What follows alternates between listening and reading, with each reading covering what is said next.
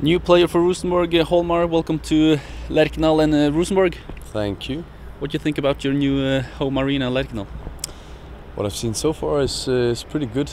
It looks like a, a standard uh, English stadium with the sides filled and the corners are, uh, are free, but it looks very nice. How is it designed for Rosenborg? Yeah, it was uh, it was really good. It uh, came up uh, last week, and then it, everything went really fast, and I was really interested in joining the club, and now it's happened, and um, and I'm really happy. You are a defender. Um, what what kind of player are you? I'm a physical one. I'm, I'm strong. I'm fast. Uh, I try to uh, put my body in the way, and then play the ball forward. It's a tough uh, competi uh, competition in uh, uh, yeah, against the Tore and uh, Stefan. Um, how will you manage to uh, get the time to play?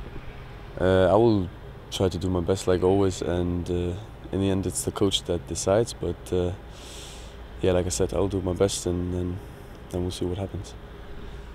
Uh, 10 o'clock this morning, you are going to train with the, the boys. Uh, what do you know about them? Uh, if I'm supposed to be honest, uh, not so much. I know about uh, Söderlund. He played in Iceland with FH. But uh, yeah, and of course I know uh, about uh, Pedersen when he played for Blackburn. I used to follow the Premier League. But uh, other than that, uh, I haven't really uh, watched uh, Norwegian football very much. What will you achieve with the Rosenborg? I hope to get them back up to the where they belong, uh, to winning the league and uh, playing in the Champions League. So that is my goal.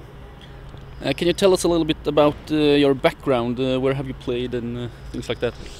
Uh, I've played in England for West Ham. Then I played in Belgium. For uh, I was on there alone there, and then I've played the last three years in, uh, in Germany for Bochum.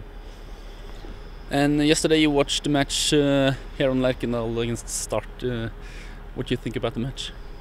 Yeah, uh, it's it was a weird match. Uh, after going two 0 down, coming back to win three two was uh, was really strong. But from my, what I could see, I thought uh, Rosenborg had more quality and uh, and should have won the game. So they they rightly got the three points. Next uh, weekend it's uh, a match against Brann. Uh, you will be ready. Uh, what do you think about uh, the 11 matches uh, that's left of the Tippeliga? Uh, I'm really excited for them. I hope that we can uh, climb up the table and uh, finish as high as possible.